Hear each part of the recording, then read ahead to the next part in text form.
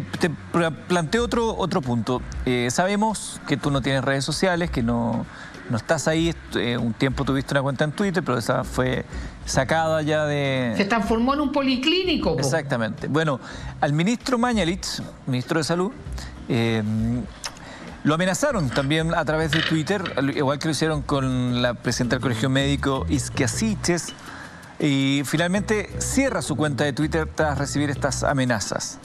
A mí me parece que también es una, es una buena noticia desde el punto que cierra su cuenta de Twitter, digo, porque el ministro Mañanich era buenazo para andarse agarrando en Twitter con las personas. A lo mejor tiene una opción menos de estar desviando comunicacionalmente la atención y centrarse en, lo que está haciendo su gestión. Sí, sí, sí. Bueno, él tiene, tiene, una, tiene una personalidad rabiosa, rabiosa, es muy rabiosa. A lo mejor debería tener una, una, una, una bolsa que tienen los boxeadores y ponerle la cara de su enemigo y darle unos buenos combos a la bolsa, pues. Un saquito, saquito de arena.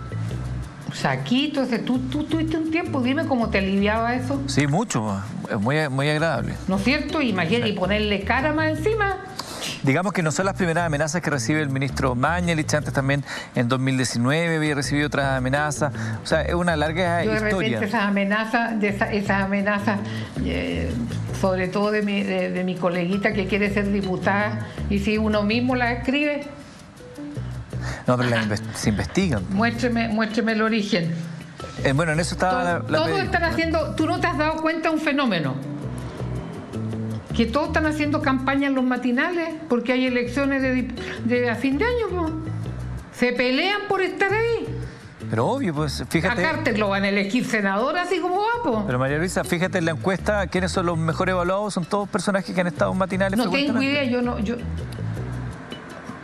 Sí, la gente, la gente vota por los que están riéndose en la, en la tele. No. Sí. no. Si no, pregúntale a la Bachelet por qué salió presidenta. Voy otra cosa, María Luisa.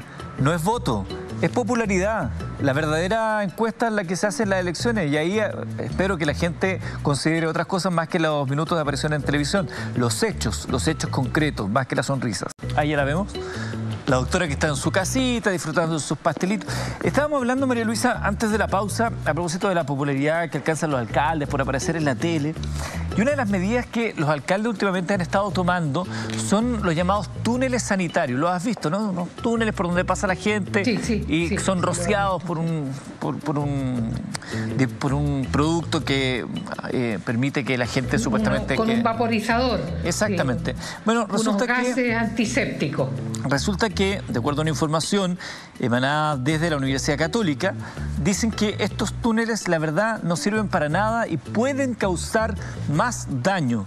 Se recomienda no usarlo, de acuerdo al CITUC el Centro de Información Toxicológica de la Católica. Los túneles sanitarios pueden causar más daño que protección. No se recomienda su uso en humanos. No existe evidencia de sus beneficios, declara la información. Y no son pocos los que lo han utilizado. En Quilicura, Putre, Yumbel, Recoleta, La Reina. Eh, y se presentan estos túneles sanitarios. Las Condes también, sí, claro. Eh, parece que a la luz de los hechos no, ayudaría. Como le sobra la plata, meta botada en la esfera.